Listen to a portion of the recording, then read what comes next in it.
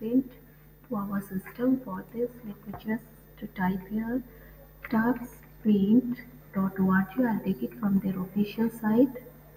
So this is their official site tuxpaint.org. Uh, uh, I'll click on download Tux Paint and here all versions will come. If you're using a Windows system, then you can take it from here. If you're using your phone you can take it from this Android section. Otherwise if you're using Apple iPhone you can make use of this version. But we will be doing it for, uh, for the desktop today.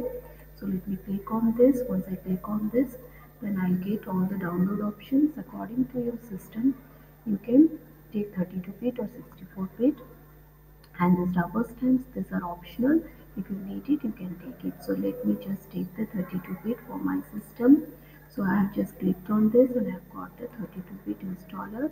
And running this 32-bit installer to my system. It will ask me do you want to make changes? Yes I want it to change English language. Yes. Yeah do you accept the changes? Yes. All users? Yes. Create a desktop? Yes. And uh, you want to install the files? Yes I want to install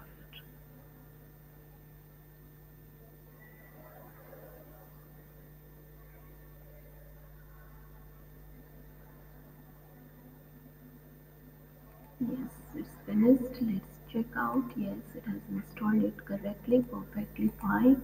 So what we can do we can check it out from here. We have got an icon over here. I'll just click it over here and see it's already there.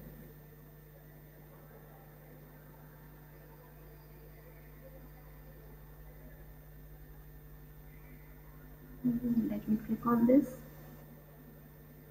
Yes it is ready. Let's check the stamp section. Uh, when you're using for the first time uh, ready-made stamps are not available. In the next session I will teach you how we can put the stamps into this. Otherwise rest everything else we have the stamps are absolutely optional if you want to install it or not.